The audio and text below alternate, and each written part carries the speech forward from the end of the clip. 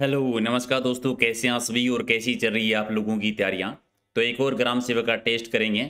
दस मिनट का समय आपके पास और टॉप पचास क्वेश्चंस के आपको आंसर देने हैं। वीडियो को लाइक नहीं किया तो कर दीजिए ताकि एग्ज़ाम से पहले पहले सौ टेस्ट का टारगेट हमारा कंप्लीट हो जाए। और ये सौ टेस्ट तभी पॉसिबल है जब आप लोग लाइक शेयर करेंगे, अपना सहयोग देंगे।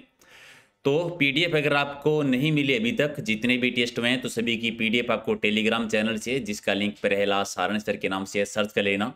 सारी पीडीएफ आपको वहाँ पर मिल जाएगी। तो चलिए करते हैं शुरुआत और स्कोर ज़रूर बता के जाना है। फटाफट रिविजन ज़रूर करते रहिए। पहले लिस्ट मैंने बना दी है, पुराने जितने भी टेस्ट हमारे हैं उनकी तो वो भी देखना चाहें तो देख सकते हैं।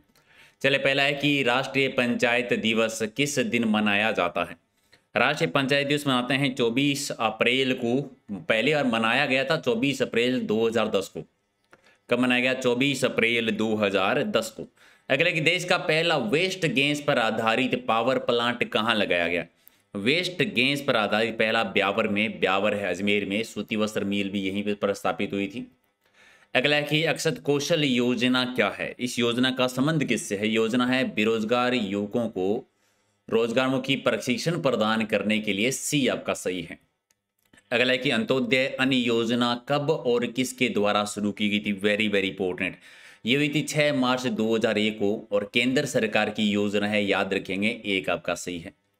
अगले अठारह सौ निन्यानवे, उन्नीस सौ को अकाल था। किस प्रकार का? अनकाल, त्रिकाल, जलकाल तो ये त्रिकाल अकाल था तो राइट आंसर आपका बी हो जाएगा। अगला की पालनहार योजना का संबंध किससे? इस बार योजना की क्यों सुनाएँगे? पालनहार योजना है, वो अनुसूचित जाति के बच्चों से संबंधित है। रट लेना, अनुसूचित जाति के बच्चों से, ना कि जनजाति। तो राइट आंसर आपका सी है। अगला कि समग्र आवास योजना के तहत राज्य के किस स्थान का चयन किया गया है? समग्र आवास योजना के तहत किसका चयन हुआ है? दूदू का, यानी जो कि जयपुर में है, एक आपका सही है। अगला कि राज्य सरकार के मुख्य सचिव की नियुक्ति कौन करता है भी? राज्य सरकार के मुख्य सचिव की नियुक्ति मुख्यमंत्री के द्वारा की जाती है और कार्यकाल भी मुख्यमंत्री के साथ संबंधों पर डिपेंड करता है। अगला कि जिला स्तरीय प्रशासन का प्रधान कौन होता है? जिला स्तरीय प्रशासन का प्रधान जिलाधीश यानी राइट आंसर आपका बी हो जाएगा। अगला है कि राज्य सरकार के सचिव किस सेवा से संबंधित होते हैं? राज्य सरकार के सचिव हैं वो भारतीय प्रशासनिक सेवा से। भारतीय प्रशासनिक सेवा एक आपका सही है। अगला कि सरपंच के चुनाव में कौन भाग लेता है? राज्य प्रशासन के ग्यारह क्वेश्चन आए थे लास्ट टाइम थोड़ा सा ध्यान से पढ़ लेना। तो सरपंच के चुनाव में, उप सरपंच के चुनाव में है, पंचायत क्षेत्र के जो पंजीकृत मतदाता होते हैं, वो भाग लेते हैं। बी आपका सही है। अगला कि स्थानीय स्वशासन संविधान की किस सूची का विषय है? स्थानीय स्वशासन राज्य सूची का विषय है। और तेतरवें संविधान संशोधन से पंचायती राज व्यवस्था को संवैधानिक दर्जा दिया गया था और नगरीय स्वशासन को चौहत्तरवें संविधान संशोधन से। अगला कि राज्य में भूमि की उर्वरता को बढ़ाने के लिए कौन सी फ़सल उगाई जाती है? भूमि की उर्वरता को बढ़ाने के लिए मूंग और उड़द उड़द होती है, ठीक है? हालाँकि आंसर तो ए भी इसका गलत नहीं है तो डी कर देंगे राइट आंसर। अगला कि राजस्थान में क्षेत्र की दृष्टि से सबसे बड़ा जिला कौन सा है? तो सबसे बड़ा है जैसलमेर सबसे छोटा है धौलपुर। आप ये बता दीजिए कि जैसलमेर धौलपुर से कितना गुना ज़्यादा बड़ा है? क्वेश्चन आया हुआ है, कमेंट करके ज़रूर बताइए। अगला है कि माही कंचन है वो किस फ़सल की किस्म है? माही कंचन, ये मक्का की है राइट आंसर आपका एक नंबर। अगला है कि राजस्थान के किस ज़िले में सर्वाधिक वर्षा होती है? सबसे ज़्यादा वर्षा झालावाड़ में होती है और सबसे कम वर्षा होती है जैसलमेर में। अगर मैं स्थान की बात करूँ तो सबसे कम वर्षा वाला स्थान है असम और आप कमेंट करके बताओ सर्वाधिक वर्षा वाला स्थान कौन सा है? अगला राजस्थान में मीठे पानी की सबसे बड़ी झील कौन सी है? जय समंद झील उदयपुर में, जिसे ढेबर झील भी कहते हैं। गोमती नदी के किनारे पर जयसी ने बनवाई थी और सात टापू हैं। सबसे बड़े और सबसे छोटे टापू का नाम कमेंट करके बता दो। चलिए, अगला है कि राजस्थान की प्राचीन प्राकृतिक झील कौन सी है? प्राचीन प्राकृतिक झील है पुष्कर झील। सबसे पवित्र झील जो मानी जाती है, बी आपका सही है। अगला है कि राष्ट्रीय सरसों अनुसंधान केंद्र कहाँ पर है? सेवर भरतपुर में है। कब इसकी स्थापना की गई थी? 20 अक्टूबर उन्नीस सौ तिरानवे को। सी आपका सही है। अगला कि राजस्थान का लगभग कितना प्रतिशत भूभाग मरुस्थलीय क्षेत्र के अंतर्गत आता है? तो दो तिहाई भूभाग, यानी लगभग इकसठ पॉइंट ग्यारह प्रतिशत भूभाग आता है। बी आपका सही है। अगला कि राजस्थान की बोलियों का सबसे पहले विनातक वर्णन किसके द्वारा किया गया था? पहली बार वर्गीकरण किसने किया था? जॉर्ज अब्राहम गिरियसन के द्वारा किया गया था लिंग्विस्टिक सर्वे ऑफ़ इंडिया में उन्नीस सौ में। अगला है कि अकबर के नौ रत्नों में राजस्थान के कौन से कवि थे? तो राजस्थान के कवि में अबुल फजल थे और राजस्थान के शासकों की बात करें तो शासकों में मानसी था नवरत्नों में और कवि में अबुल फजल थे। तो राइट आंसर आपका बी हो जाएगा। अगला कि राजस्थान का प्रमुख लोक नृत्य बता दीजिए। राज्य नृत्य है घूमर नृत्यों का सिमोर नृत्यों की आत्मा। राइट आंसर आपका एक नंबर। अगला कि राजस्थान की सबसे प्राचीन ख्यात कौन सी है?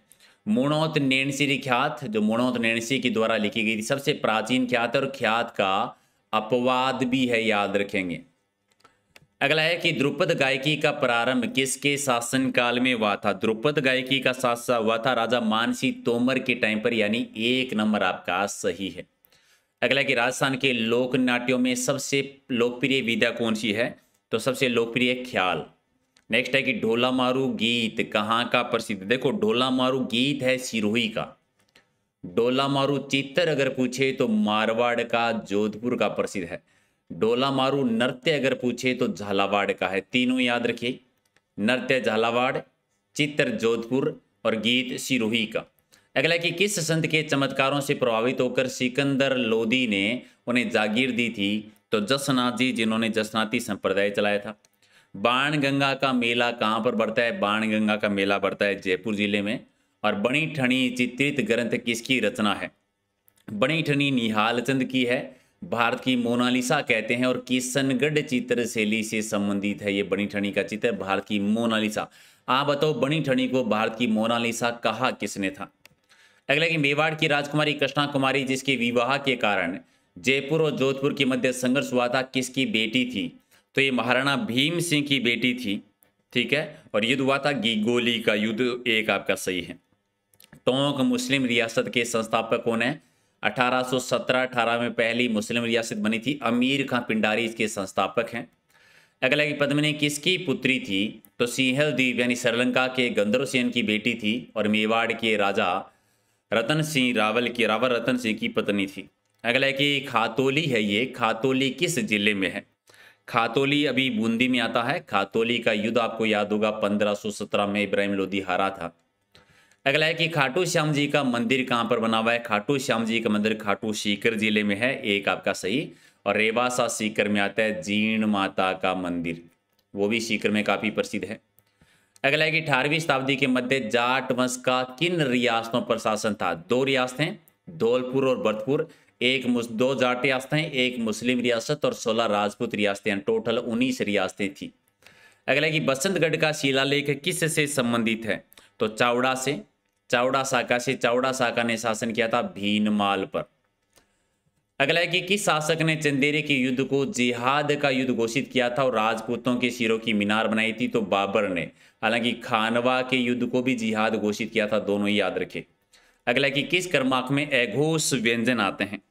एघोष व्यंजन कौन से हैं? सैस है, यानी राइट आंसर डी है। अगला है कि सामने जो बड़ा महल दिखाई दे रहा है, वह मेरा है। कौन सा सर्वनाम है? जो दिखाई दे रहा है वो मेरा है, सामने यानी निश्चयवाचक है। अगला है कि उसने चाकू से फल काटे, कौन सा? चाकू से, करण से, करण कारक है, यानी डी आपका सही आंसर।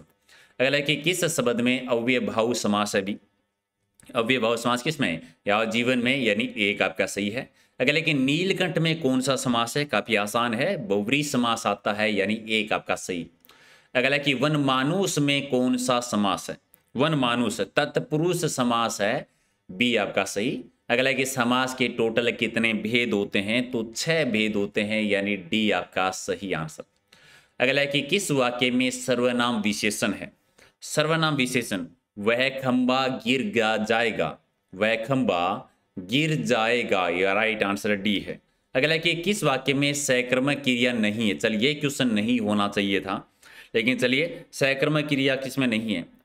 बच्चे फ़िल्म देख रहे हैं, रजत दूध पी रहा है, मनीषा ने कार खरीदी है, मोर नाचता है, इसमें नहीं है। हालाँकि क्वेश्चन तो नहीं होना चाहिए था ये। अगला कि किस शब्द में अति उपसर्ग लगा है भी? अति उपसर्ग का किसमें है? अति उपसर्ग का किसमें? अत्युतम में। अत्युत्तम में अति उपसर्ग आया है, यानी एक आपका सही है। अगला कि अधि उपसर्ग का प्रयोग किसमें नहीं हुआ है? अध्यादेश में है। अधिपति अधिपति में है। अधिग्रहण अधिग्रहण में है, अधोमुख में नहीं है। अधोमुख में यदि नहीं है तो डी आपका सही है। अगला कि किस शब्द में अनु उपसर्ग नहीं लगा है? अनु उपसर्ग अन्विति में है, अन्वेषण में है, अनुज्ञा में भी है, अनंत में, यानी डी सी आपका सही है। क्या उन्हें किसमें सम उपसर्ग नहीं लगा है?